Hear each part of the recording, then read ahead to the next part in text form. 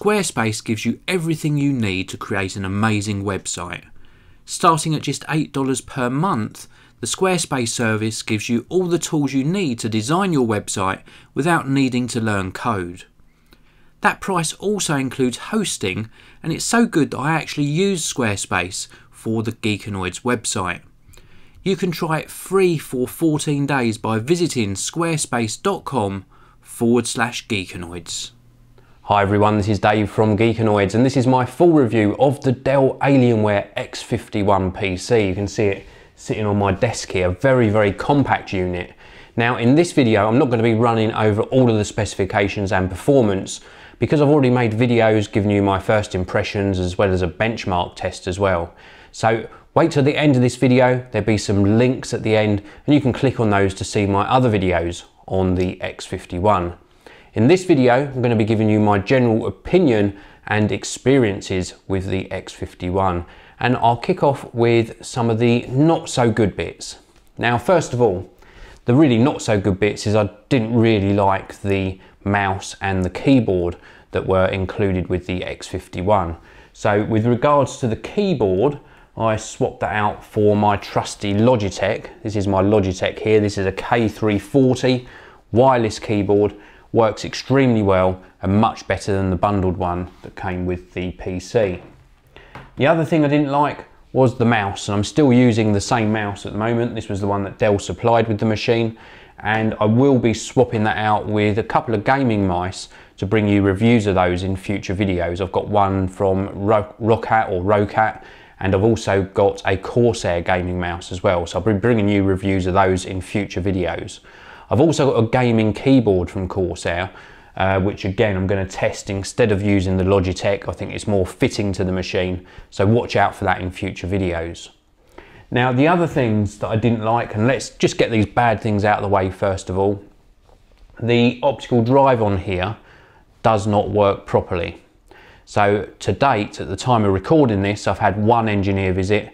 Uh, he replaced the drive with another one and it still doesn't work properly. The first drive that was in here wouldn't read CDs or DVDs at all. It would take them into the machine and either keep hold of them and not eject them, or it would read them for a little while and then start making chirping sounds. So they've swapped that out for another optical drive, and this optical drive will read CDs fine, and DVDs so I can install software, but it will not eject the discs from the eject button. So you can push this eject button all you want and it won't eject the disc. You have to eject it via Windows 7. So not a great experience on that front.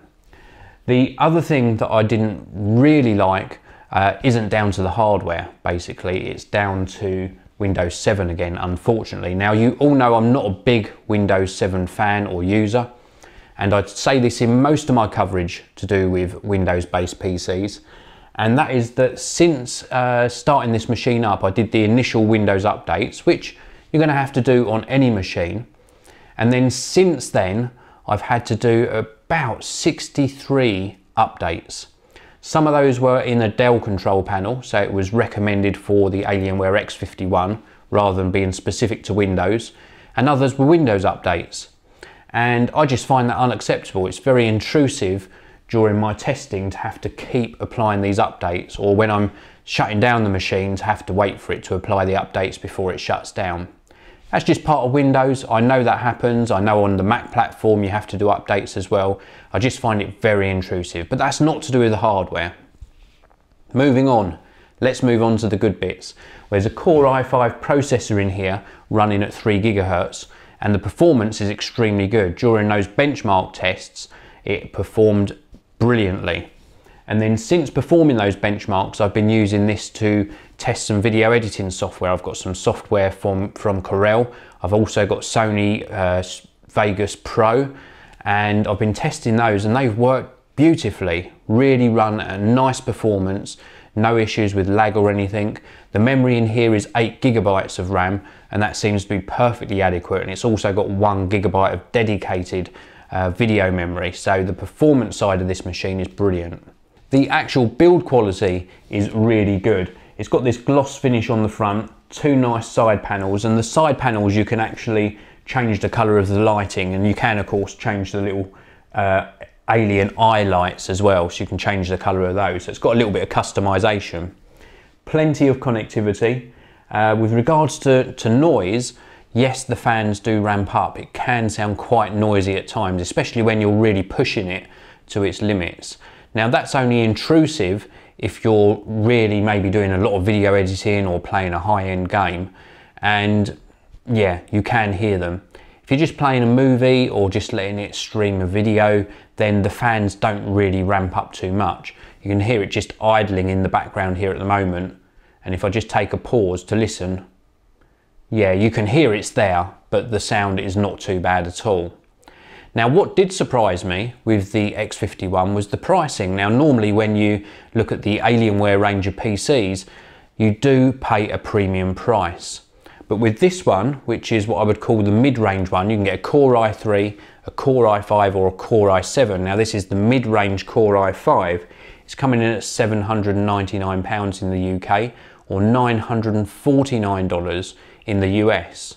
Now that is yes, a little premium. You could get more for your money if you went elsewhere, but this is a brilliantly designed machine. Now it isn't too upgradable. You can change out the hard drive if you wanted to put a higher specification one in there. You could swap out the graphics card. Um, now there is a, a, small problem with swapping out the graphics card and that's the fact that we've only got a 300 watt power supply inside this PC. So you have to be careful with your selection of graphics cards. You're not going to be able to go up to a very high-end one that consumes a lot of power. But if you wanted to, and you were careful with your selection, you could upgrade the graphics card in here as well. So overall, a great PC, good pricing, good performance, and certainly at this 799 price point, I can definitely recommend it if you want a Windows 7 based machine that will play most games and turns over a good level of performance for your other work. Now, you all know me, I do a lot of video editing and for that, even though it's not designed for video editing, it's more of a gaming machine, it is a brilliant choice. So that's it for this video. Thank you very much for watching. Please do click that like button, it really does help me, and I will see you all in the next video.